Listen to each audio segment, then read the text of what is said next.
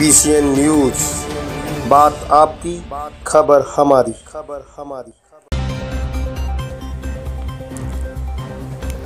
मंगलवार को सासनी के के एल जैन इंटर कॉलेज में चंद्रशेखर आज़ाद कृषि एवं प्रौद्योगिक विश्वविद्यालय, कानपुर के बैनर तले जल शक्ति अभियान के तहत किसान मेले का आयोजन हुआ, जिसमें मुख्य अतिथि के रूप में जिलाधिकारी प्रवीण कुमार लच्छकार मौजूद रहे। कार्यक्रम में किसान भाइयों को जल संरक्षण व कृषि के बारे में जानकारियाँ दी गई।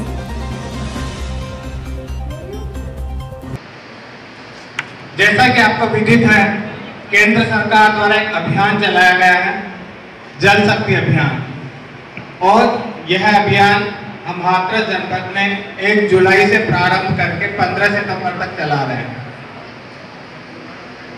आपको यह भी विदित है कि पानी की बहुत समस्या है।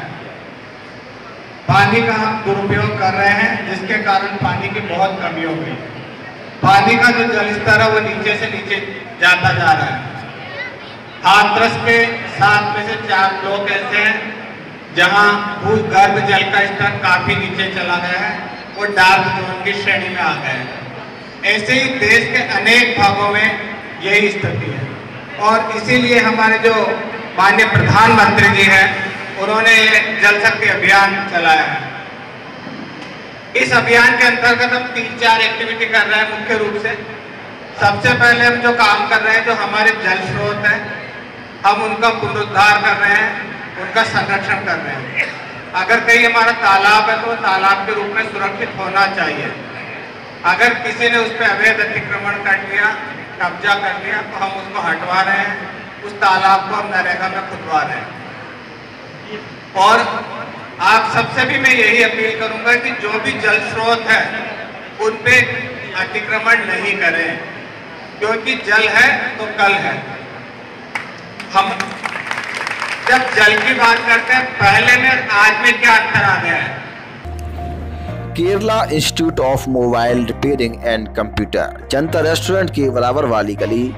Single guest house Hathras.